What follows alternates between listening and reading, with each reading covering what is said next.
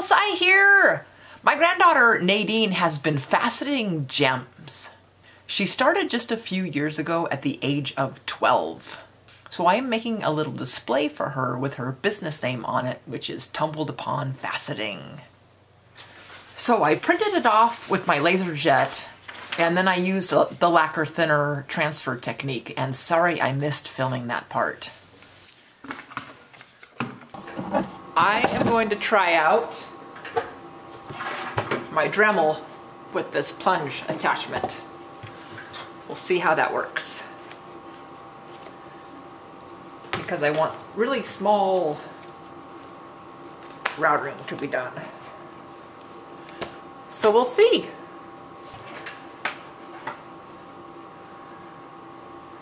Gotta figure out how to turn it on. There it is. I'm going to tell you a little history about how Nadine got into faceting. First of all, faceting means she takes something that looks like a rock or a hard little blob and she turns it into a beautiful gem. It all started with her love for rocks. I remember rock hounding in the yard when she was about three years old. She has continued to learn about rocks and geology, and one time during a rock show, where she had a display of her collection, she met someone who would teach her faceting, even though she was only 12 at the time. She took lessons and she picked up on it really quickly. And before a year's time passed, her parents helped her get her very own faceting machine. And then husband made her a work desk, and her machine fits right into it. I'm still routering out the sign, so I'll continue on. So what she does is she buys rough, which looks like rocks but she knows how to look at it through a loupe to know whether she can make a gem out of it or not. She can tell whether it's gem quality. Once she has it home, she sets it up on her machine or dops it, and I don't know these terms well, but she does. And then she follows a diagram with measurements and she adjusts the dial accordingly and cuts the facet with a diamond wheel. And you can tell she's loving it then goes through all of the steps for polishing afterwards. She has her magnifiers and she can inspect each cut she makes. Once I finished with the Dremel, then I used the trim router and I went around the edges. And then I sanded all of that and I took it outside and sprayed it with black primer. Well, rats. I sprayed this with a spray can and forgot to push record. Sorry. And since I'm not on the ball, let's go back to Nadine. Here's a video showing her process from uncut stone to faceted gem. Here it is dopped. Then she grinds the stone onto the diamond wheel, making a facet. Then she examines it along the way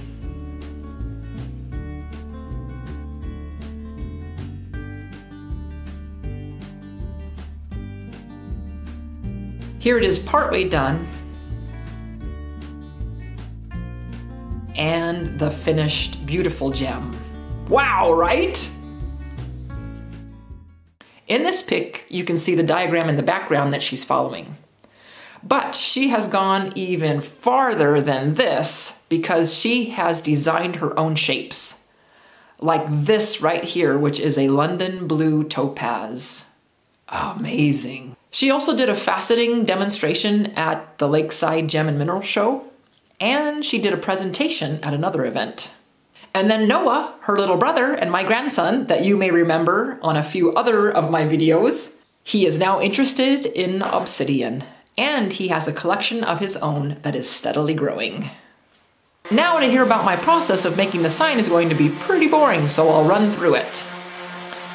Then I sanded all the black off of the top and I sprayed it with air. Then I went outside and I burned the wood with a little torch.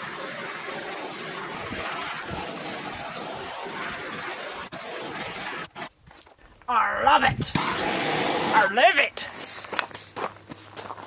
And this gave it a caramely color and made it silky soft to the touch.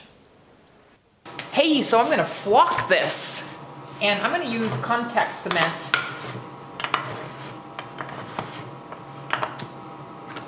And I'm just going to put the cement you know, just in these areas. Okay. Ow. Use the flocking.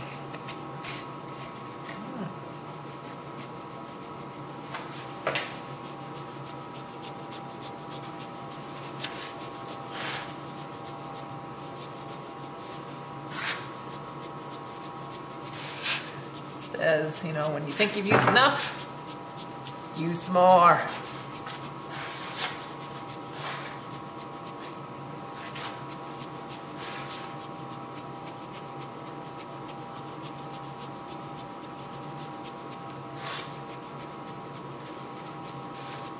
Oh, it's almost filled up the hole there. So it's probably good.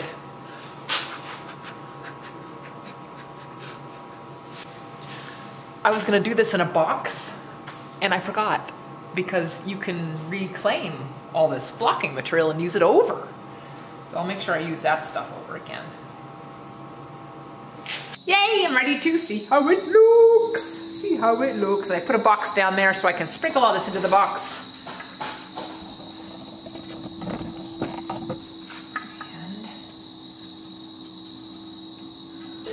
I've only done flocking once before and it just lines the little area to make it feel like a, you know, a suede or felt finish. It's really cool stuff.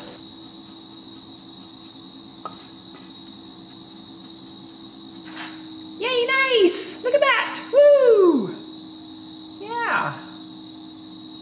Cool. Cool. Then I flipped it over and I put a verse on the back. I'm putting Isaiah 54:12 which says, "I will make your towers of sparkling rubies, your gates of shining gems, and your walls of precious stones." I also put my little house and love grandma. Then I put some Danish oil for some protection on the back. And when that was dry, I added some feet to it, but I ended up replacing these. So this is all done. And I ended up switching the feet out. And these are adjustable feet. And you put in a little insert and it screws into the insert. Way better than those ones that I used before where you pounded them in. They didn't work so well. So I switched these out. So what I thought this could be used for is when Nadine is showing a gem or so, like these two that she made for me. I have to show them off. And of course I can't remember the names of them, but put one on there. See how nice that looks? Wow, cool. And then here's the other one she made me. And I love this teardrop design. And that's my birthstone color. Wow. Let's just take a close look at those gems real quick. Wow. Incredible, huh? Look how pretty those gems are. Ooh. So I'm hoping that she can use it like that. So today is her birthday and she's turning 14. Happy birthday, Nadine. And good job on your tumbled upon faceting business and your skill at faceting. It's awesome.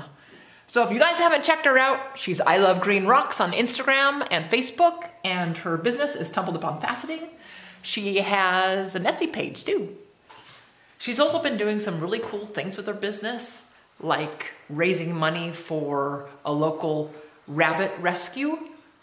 And then recently, one of her really good friends has leukemia, and she's been raising money by doing gem raffles.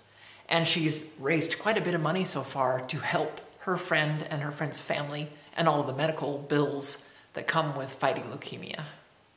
So I recommend going to Nadine's pages, I Love Green Rocks, Tumbled Upon Faceting, and check out all of the pictures and videos and all the stuff that she's doing.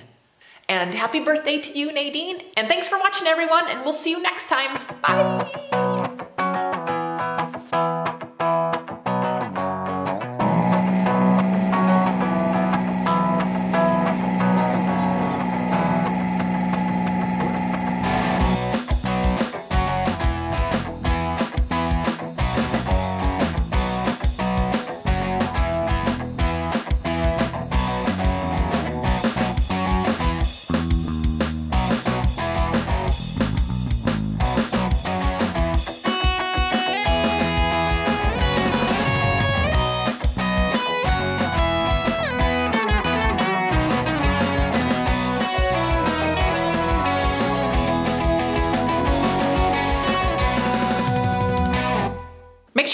Sure to check out Nadine's web presence as she continues to have raffles to raise money for her dear friend, who is almost 14 and has been fighting leukemia for the last couple of months. Thanks again for watching, everybody, and we'll see you next time.